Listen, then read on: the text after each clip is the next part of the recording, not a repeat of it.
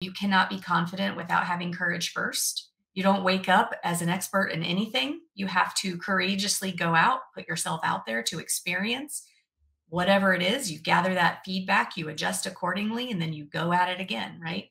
It takes that courage to then develop the confidence to do anything in life. A good coach allows that freedom of discussion and imagination to happen because the answer is inside everybody. We just need somebody who's talented enough to pull it out of us so we hear it in our own words.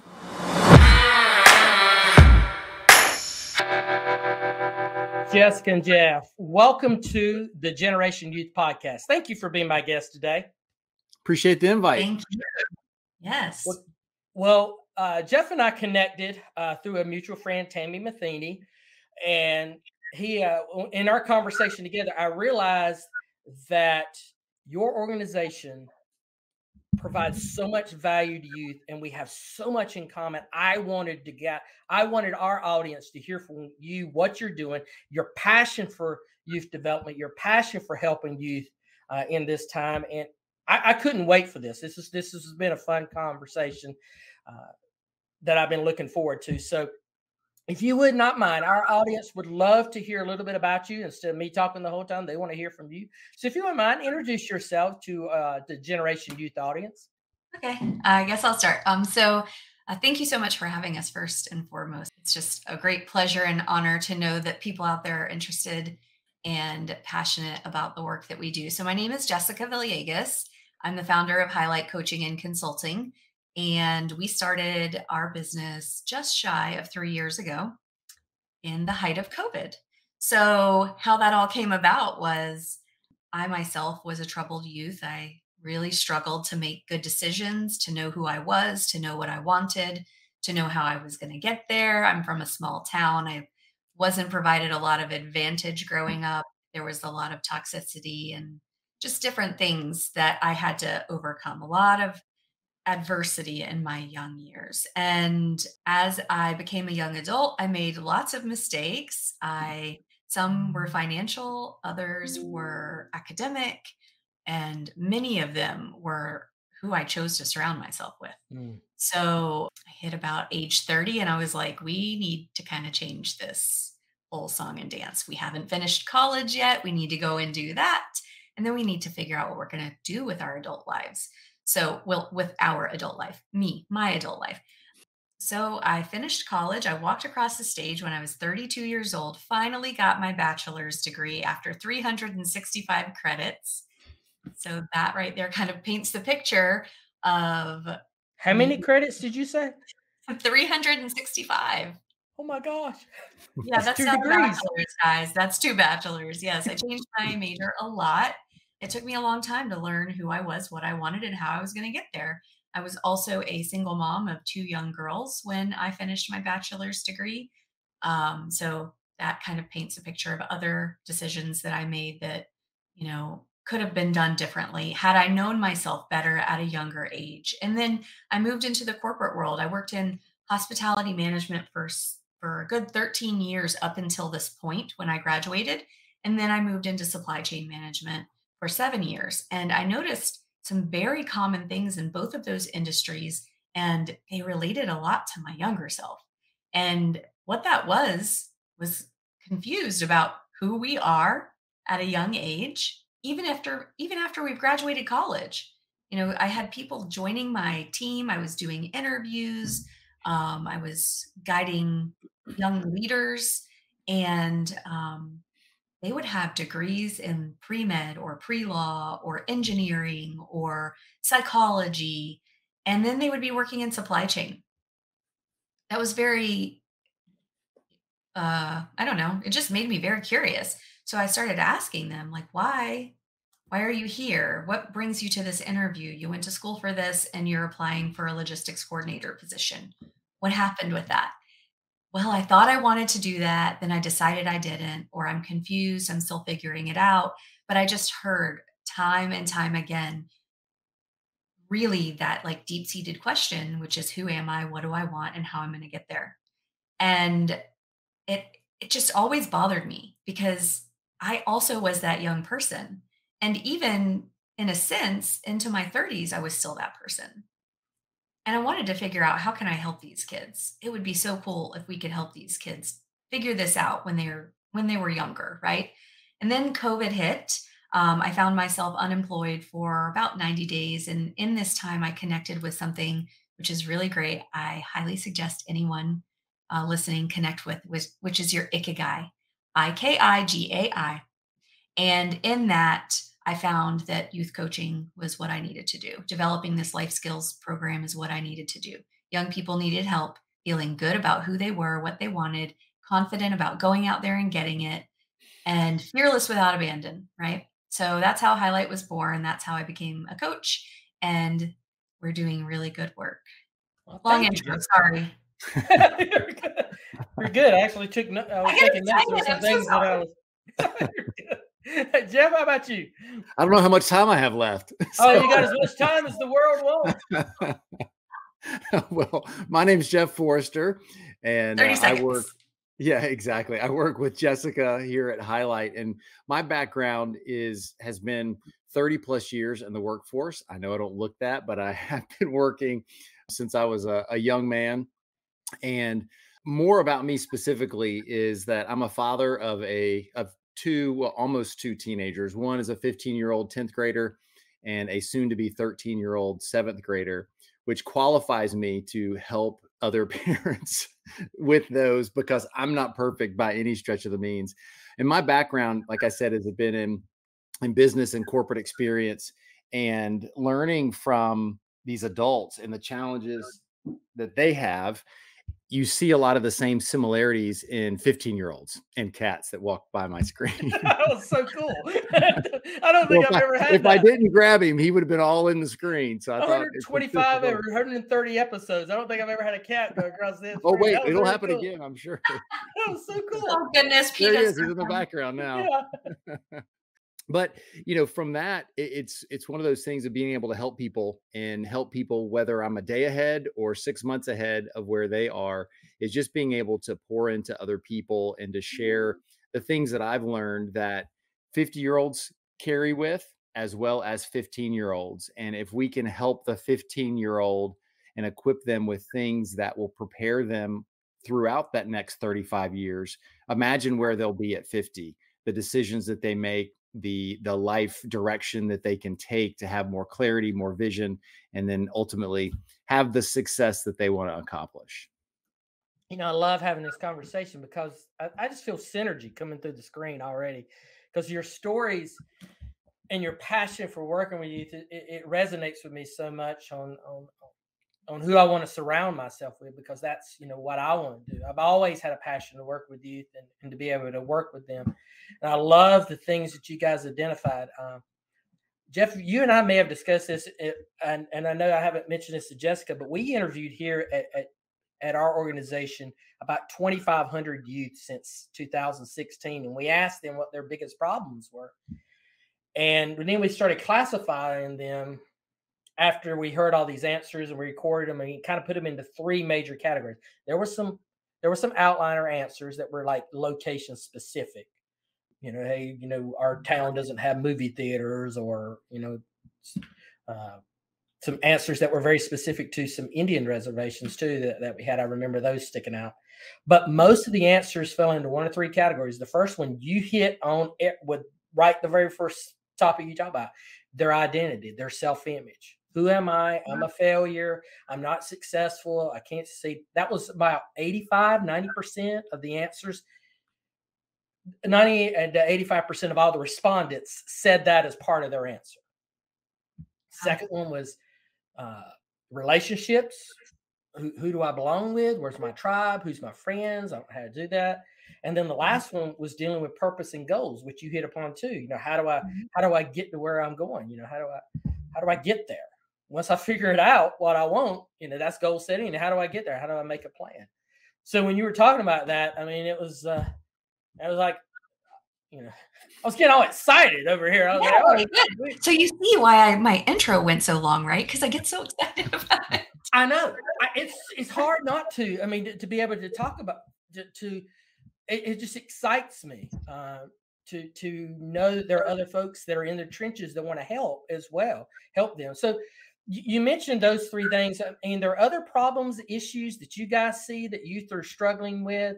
I think that all those things kind of fit in those care those things. Mindset, obviously, you know, their growth mindset, but that that kind of works with those other three in, in tangent as well. So, what are you guys' thoughts? Anything else? I think those are the big things, and then yeah. I'll I'll let Jessica comment to those. If you want to get tactical and more specific, one of the challenges that we see that really carry from you know adolescence all the way into adulthood time management distraction management task management some of those real specific things that can impact all of those. You can have all the big answers but if you don't know how to organize your day and process your day which most people do not, regardless of age, with any efficiency. That's one of the things that I see that the light bulbs start to go off of figuring out, okay, that's my challenge. I can't accomplish more because I can't do more because I don't mm. have enough time. And so that's where you go into auditing their day and then just figuring out what works. You know, there's some people that need to program their day by 15 or 30 minute increments, and there's other people that would make their head explode if they had to get that granular on their day. And so it's it's working with them to identify what those tactical things are. Yeah. Yeah, that's definitely one of the big things. I think one of the other things is helping them to develop that sense of agency, you know, like, hey, I'm actually capable of making this decision for myself. When we are teenagers, we feel like we don't have control, right? We feel like we need permission from from everyone for everything, right? Including our peers. We need permission for to like to wear this outfit. Would my friends accept me or not accept me? I need permission to hang out with this group or that group. And then further, I need permission to spend my time this way or that way or drive or have a job or any of those things, right? But when we're showing up as our best selves in life, we have more freedom than we realize. Mm. And one of the things that young people like to say is, um, my teacher gave me a, a D in the class because they don't like me. Oh, yeah. Or my parents are being controlling and they grounded me. Well, you had to participate in that outcome in some way. So creating that self awareness to then generate the agency like, oh, wait, I have control of this actually. If I could be more mindful of how I'm showing up as my values, and I'm keeping my vision in mind, I'm bringing my best self to the table every day. And then I'm seeing I have more freedom. My grades are better. My relationships are better. I'm getting along with my parents. They're supporting me more. My maybe I'm making better friends and I have a more supportive friend group, but you have to first help them identify that they have more control and they actually sit in the driver's seat more than they realize. And then the other like the flip side of that coin is parents helping them learn. So when we're working with kids and families, we we create that feedback loop with the parents. How are things going at home? You know, we don't divulge the details because we've got that confidentiality, but we help parents to be successful too by giving them tools, but helping them to understand this is a partnership. You know, teenagers, the, the parenting happened in elementary school, but as they get older and, and they develop this responsibility, we have to give it to them and we have to be partners with them in that. So I think that's one of the really unique things that comes out of the program. It's like a byproduct aside from the things that we specifically hit on already. I was thinking immediately of a of a conversation I had with uh, some parents about their daughter recently that was struggling with those life skills that Jeff you were talking about, time management and those things because of of having uh, ADHD and mm-hmm. and having to take some medication to help control that, but it still was affecting her. And as a result of her not having the good skills to maybe program her day, like you talked about, it was heavily affecting her self uh, identity, her self image. She looked at herself as a failure. I cannot accomplish this, and it was affecting relationships, and obviously was affecting goals, which you know, we, we talk about those things all are, you know, even though kids may say one answer more than another, they're so intertwined. You cannot develop one without developing the other effectively. Right. So when you guys were talking about that, I was immediately thinking about how applicable it would be to help her in those many I mean, it just having micro steps, you know, success, one successful day, how much that can help her on her journey. Yeah. Well, even for her, an hour, like just Ooh. getting it even smaller of like it's stacking those small wins. If you can have an accomplishment that you're proud of within an hour of being able to stay focused that she may have never stayed focused before. And now she's like, okay, I can do this. Now, what kind of system can I create? The other challenge that we see, especially with people who are, are giving di- given diagnosis, is that they've now been given a label that they can use as an excuse. Yes. And so now they can mm-hmm. extend mm-hmm. all of the things that they don't want to do and blame it on something else. And Jessica and I have a, a dear friend, Brittany Richmond, that you should definitely get on the show. That she's an anxiety speaker um, for teens and one of the things that she say says is that my anxiety is not your problem. And I I really found a lot of power in that because that means she has control over it and she doesn't extend that out. Now there's so many different circumstances with every individual so you can't cast this broad statement. There are ways though that people can learn how to manage the things that they have and not use them as an excuse because that's what I see a lot of times like I can't do that I have X I can't do that or can't go there because I have this issue well you know you may just have to work harder than somebody else to to overcome those certain um, challenges that you have because everybody has their own individual challenges that they have to work around and figure out how to overcome. Mm.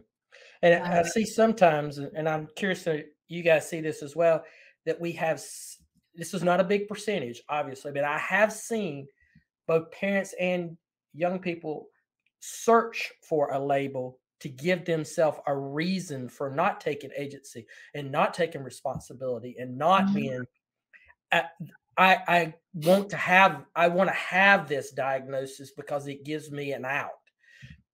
I'm not de, you know diminishing any kind of diagnosis at all. I, please, audience, don't get me wrong on what I'm saying. I just have seen that occasionally that they're searching for that. Well, uh, you know, mm-hmm. I'm kind of do this, and I and I think I'm this. I need to go get tested for it, so I'll know that I'm this. So. Yes, I have seen that. I've absolutely seen that. Yeah, hmm. that's a and that's a that's where value of coaching can come in to help them to have that self actualization during that process. So. Why do you guys think coaching now is is a viable option uh, for youth? When hey, I'm I'm in my early fifties. In the eighties, you know, we didn't we didn't have. Co- if you were a coach, you were on the athletic field. I mean, that's yes. the term that was used then. Uh, why why is it now? Why why is it valued now? Why is it needed now? Okay, so I don't want anybody to take this the wrong way, but coaching is incredibly helpful for young people.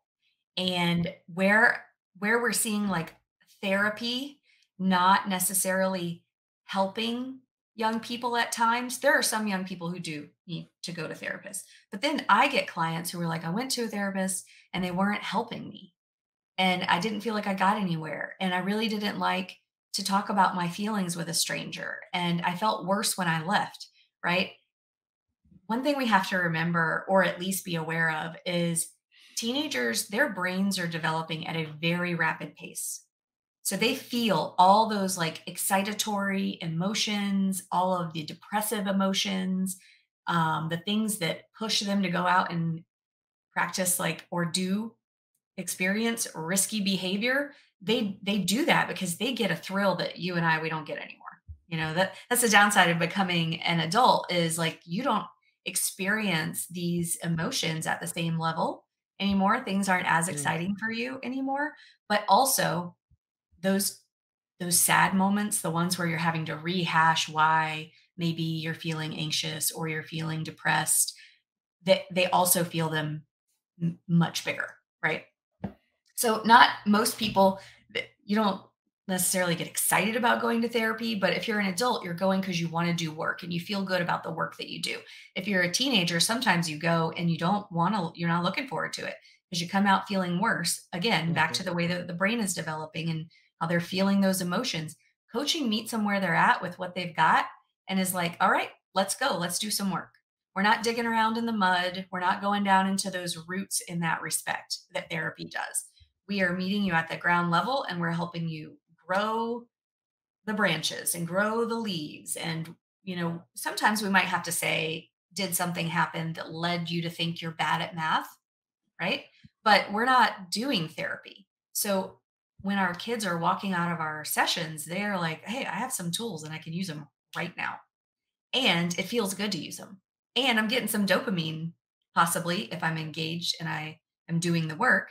I'm getting some dopamine from this experience. So it's it's just a more positive experience. Teenagers really need that. They crave that. And they crave solutions. Eh, and they crave that agency, the the thing that gives them the power and the control to make the decisions. The coaching coaching gives them that. I think I think that- coaching too.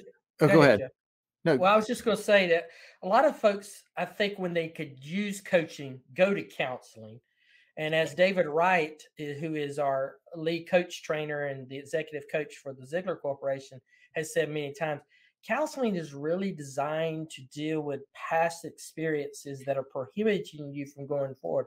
Where coaching, we may discuss things that happened in the past, but we're really focused more on assessing where are you right now, helping you mm-hmm. decide where do you want to go, and helping you get there. And what I love when David describes this is he goes all the way back to the root word of coach. You know, that it really is a carriage, it's a mode of transportation. That's what the original word was. He says, so if we take it in its original word, that it's a mode of transportation. What is the what was the stagecoach? Stagecoach figured out where you were, it picked you up, it you told it where you wanted to go, and then it took you there. And that's what coaching can do. And, and that's one of the things too, is a, as a coach needs to know too, at, at that point in time, any kind of life coach needs to know too, is uh, when they have a client that needs to be partnered with a with a counselor because you know sometimes they come to coaching when they really need to see someone Yes. um, but very often they go to counseling when they probably could use a coach uh, jeff you want to add to our Yeah, well, one Like you it. stole you stole part of what I was going to say. So good. We're definitely in synergy here.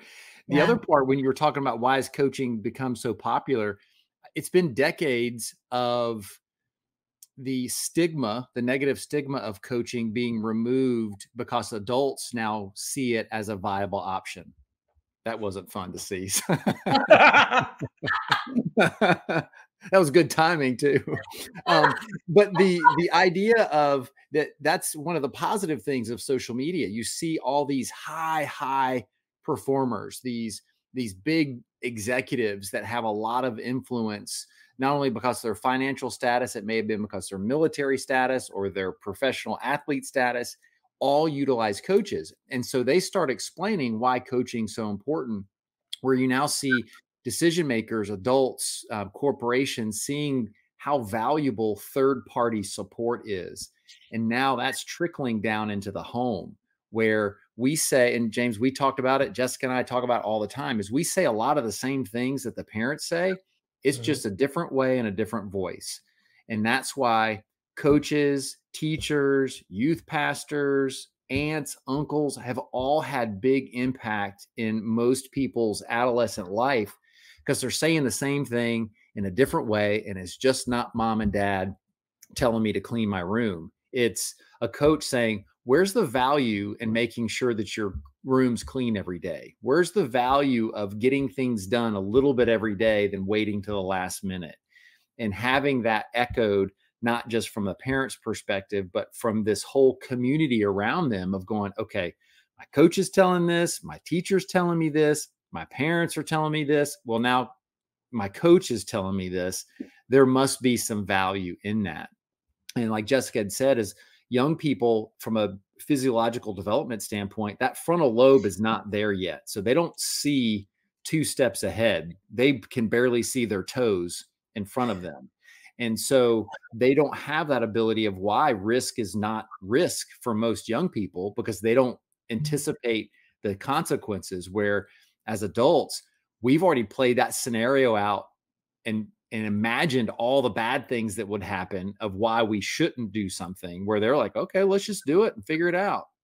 And that's where that overall coaching helps because then it's like okay well let's talk through the decisions that you're going to make and what are the upsides and the downside because a good coach allows that freedom of discussion and imagination to happen because the answer is inside everybody. We just need somebody who's talented enough to pull it out of us so we hear it in our own words. Audience, you getting this stuff? I hope y'all getting this stuff. I hope we see some. I started to say tweets. Do we still call it tweets now? that This platform's called X. I don't know what we call it anymore. Uh, you know, with some hash, we need to see some hashtags on these comments here. When you guys were talking about the teenage brain, I was reminded of a of a, a book by Jeremy and Joshua Clark called "Your Teenager Is Not Crazy," and they describe the teenage mind in, as a metaphor of a high speed, you know, sports car that has mm. extremely sensitive accelerator that'll go zero to a thousand miles an hour just by touching it. And it has brakes that work, but you got to push them all the way down to the floor. And it takes a while for them to engage, but they will engage. And their analogy is, is that youth by far know that they're supposed to hit the brakes on the things that they're doing in their life and they're trying, it just doesn't work as fast as that excitement mm-hmm. accelerator that they just touch and it boom. He said, and that's why they make some of the dumb decisions that they have in life. He says, it's not they're being malicious. It's just, yeah, God took. They're learning. Yeah. They're learning, and that's you can't build the neural pathway, the neuro pathway, without the experience. You have to, you know, it's like trying to write a book, but you don't know words. So, it, something I I either heard or read. Um, it could have been in the book, The Teenage Brain. It's written by a, a, a brain person. I think I have it. neurologist. a neurologist.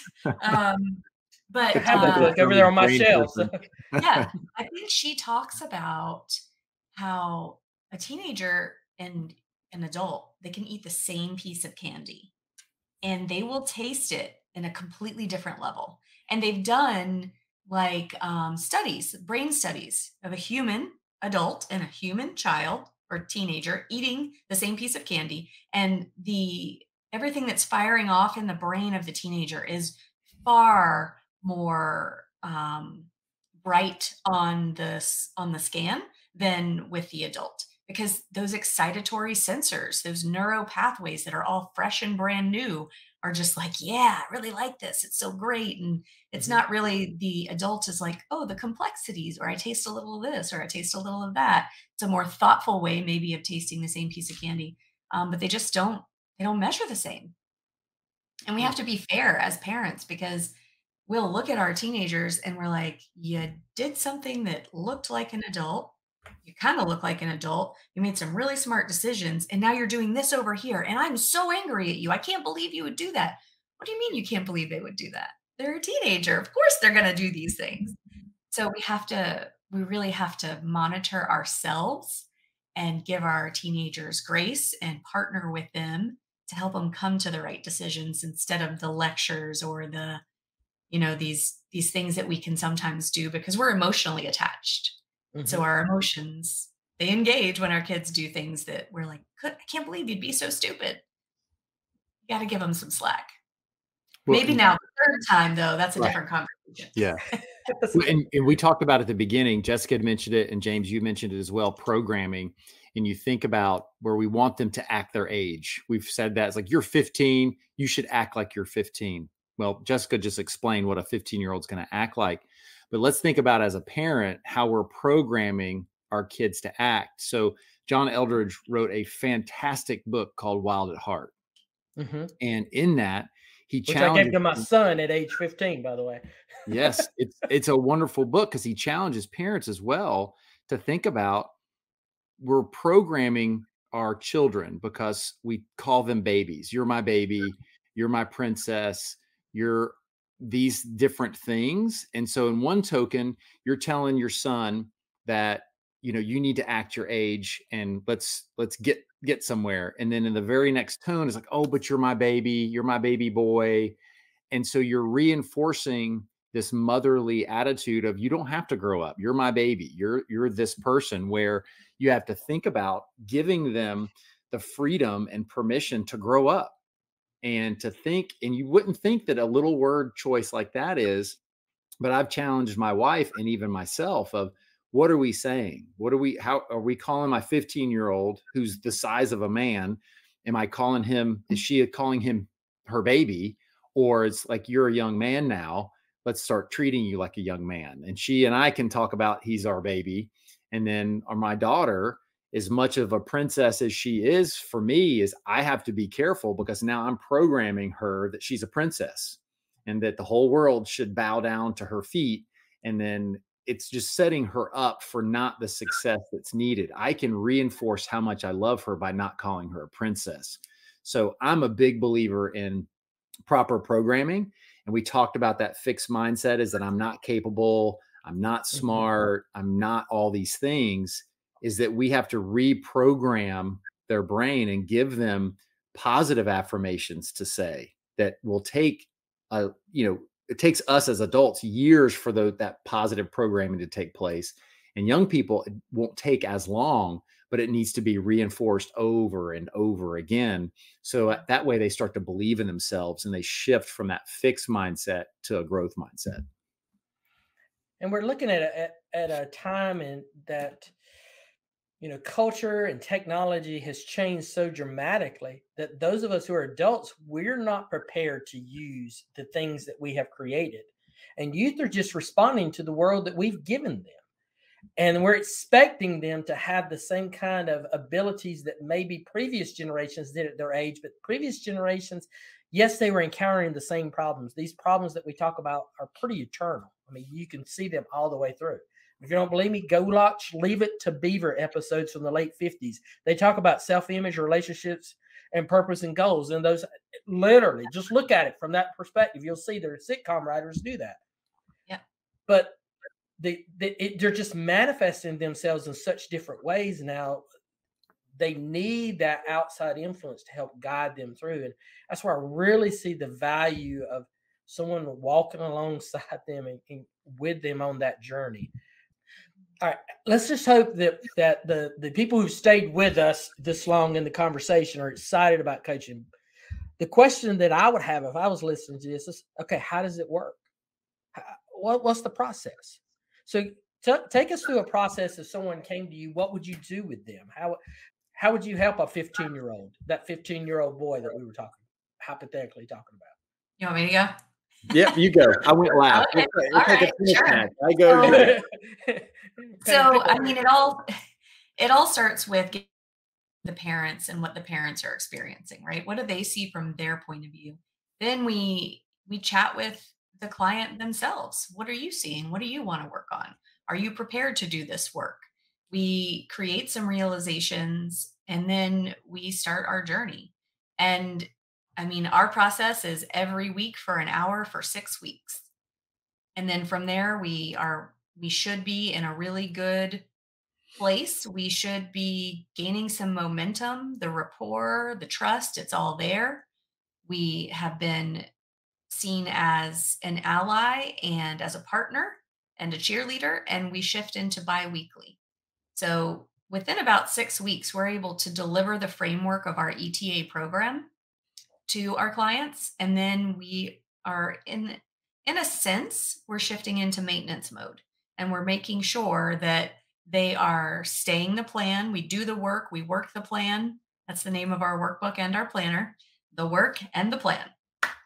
But before we even do that, we get our goals right, right? We learn what our values are, how we're showing up, what our vision is, what our mission is. We do all of these great things and we follow them along. And sometimes parents invite us to be part of the journey for four months, six months, a year. I have some clients I've been with for over a year and they're off to college and I'm still with them as they're at college because they still need that partnership. They need that person, that safe person to go to. So that's kind of like how it works.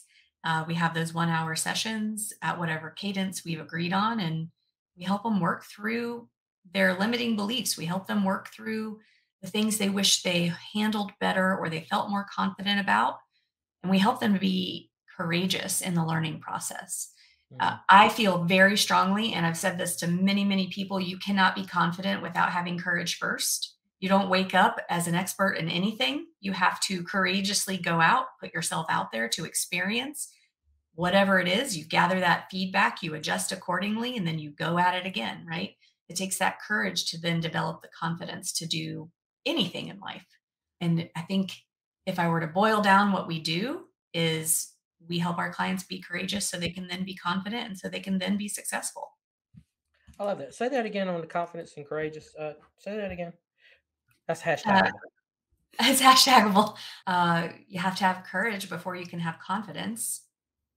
Courage before confidence. Hashtag courage before confidence. We sound so old. oh gosh. I don't even know if people are using hashtags anymore. well, I am. So there you go. So exactly. I uh. love I love that process. I love that that they're engaging and, and what has been some of the results that you've seen from some of the clients that you've had come through or some of the testimonies that you have you sure you want to ask me that out? question i get so excited well that i was just time for you to share some some success stories because that's that's the exciting part of it Sure. Well, our ETA program is very impactful. We have been full time at this for just over a year and a half. We've helped over 150 local families.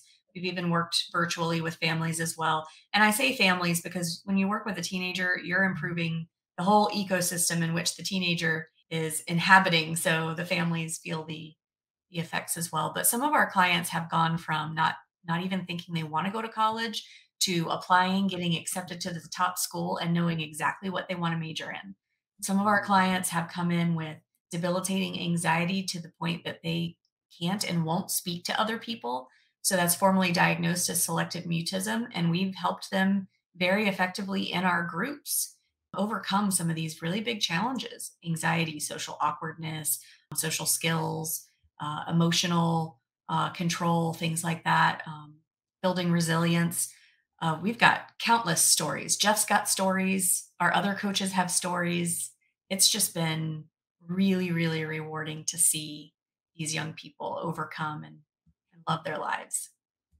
We had a coach that's in uh, came through our program and was certified, and she sent me a screenshot of a text that she received from one of her first clients. Mm-hmm. Uh, she came through our program last September, and she got this. She sent it to me sometime in January, February and this she's in uh she's from South Carolina. She's in western part of the state, and she and the, it just simply said, "You have given me my son back." Mm-hmm. Oh, I love that. We have heard and, that. And I just, I just had my time.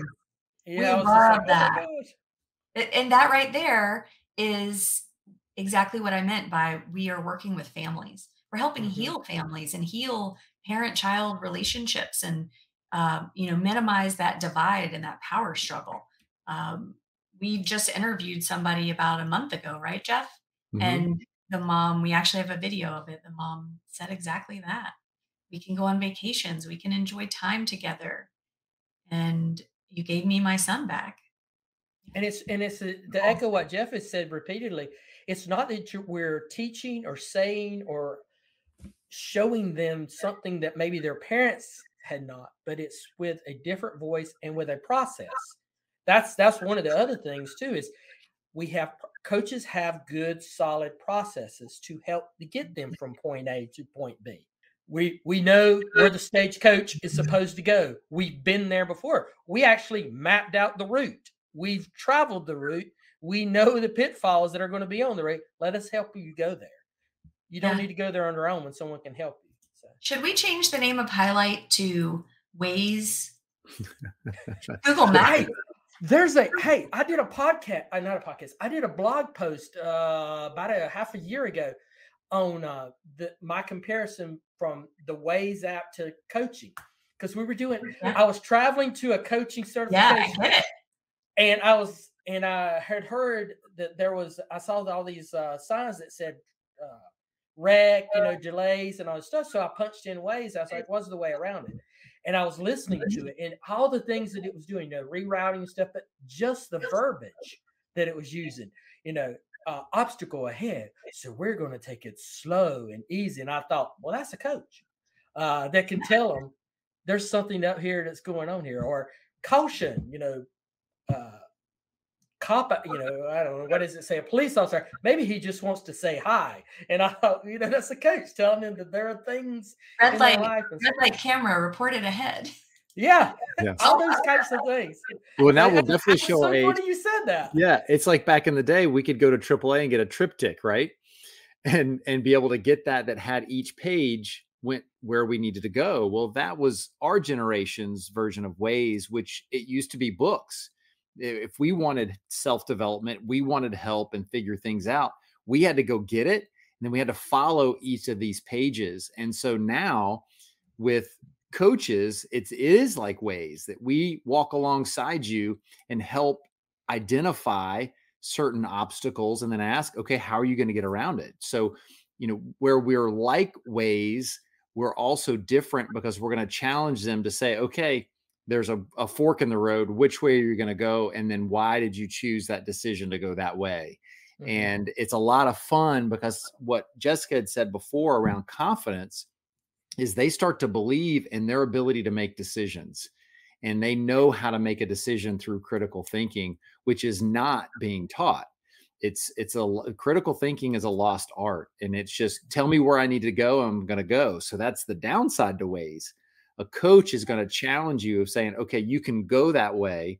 Why do you want to go that way and what potential obstacles are you going to have to face? Do you have enough gas? Do you have money for tolls? Do you have all these things? Or you can go this way. So which one would it be? And then you have to learn how to make the decision of am i going to go the right fork or the left fork? Coach teaches them how to use a map uh, yes. so that they can, when they leave us, they can take a map and plot their own course and be successful getting there without relying on something else. So I hope our audience has, has caught a vision. How can they get in touch with you guys? What are some ways they can get in touch with you guys if they want to learn more about what you do and see if it's the right fit, especially if they're in your area? How can they connect with you guys? Uh, so this is a fun fact. We actually have coaches in Valdosta, Georgia, Charleston, South Carolina, uh, Chicago, Illinois, and then we have five coaches, six coaches right here in the Central Florida area. They can find us on Instagram at highlight.coaching. You can find us on Facebook at Hi-Lite Coaching. And of course, our website is highlightcoaching.com. And we have an app. So we just oh. hit the app stores on Google Play and Apple App Store. It's Hi-Lite Coaching. So H I L I T E, spelled phonetically. And you will find us there. You can download the app. We've got some free tools and you can connect with us further. You can learn about our programs and all of that other fun stuff. Well, thank you guys uh, for your time today.